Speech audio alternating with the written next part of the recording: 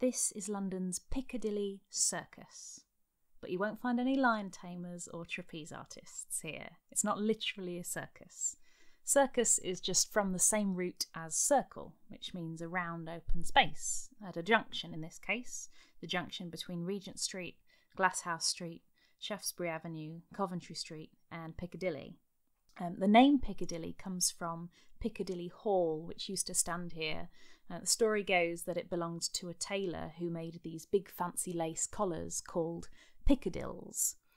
And the circus is most famous for Piccadilly lights, which I guess is our equivalent of Times Square.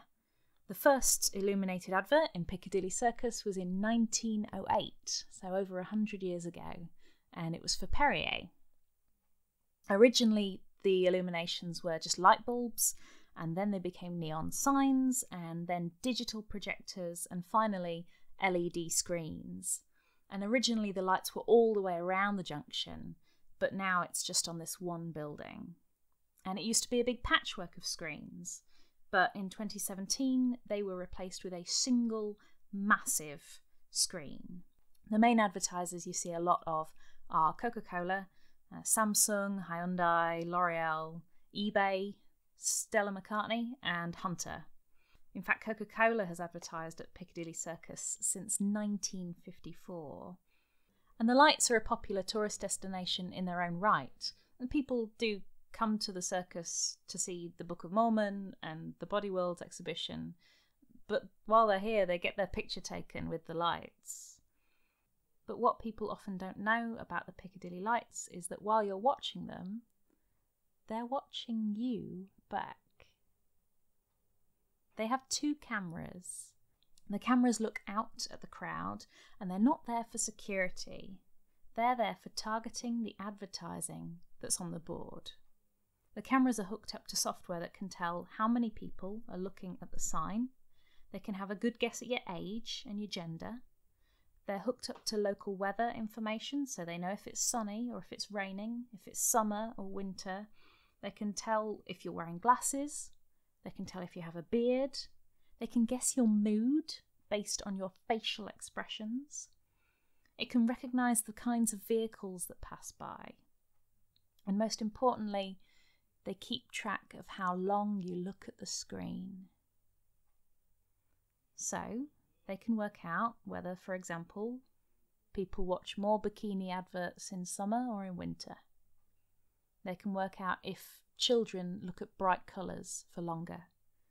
They can work out if lots of blue cars happen to be around in the mornings, how much the rain affects people looking up at the screen, and they can tell what sort of people are in the crowd at any given moment and change the advertising accordingly to catch more eyeballs for longer. This isn't a conspiracy theory. This is on the official company website for the company that runs the Piccadilly lights. They're called Landsec and they sell themselves to their advertisers this way. Who else can tell you how long people actually look at your advert broken down by demographic? This is all freely available information on their website. Now, to be fair to Landsec, they say they don't keep any of the images, they just keep the camera's decision about what your age and your gender and your mood are. They don't link the images to individuals, they can't tell your name, and if you leave and come back, the camera has no way of telling that you're the same person. If the police ask them to find a specific person, they won't be able to do that. So the police will just have to look at all the other CCTV footage in Piccadilly Circus. But still, a huge amount of data is being collected on people without their consent or without their knowledge. No one tells you when you walk near the cameras, oh, just to let you know, there are cameras here looking at your face. Right now, the technology is rare, but that won't be the case forever. This would be easy to roll out on the tube or at bus stops. I don't want Coca Cola or Samsung to have any more power than they already do to make me buy their stuff.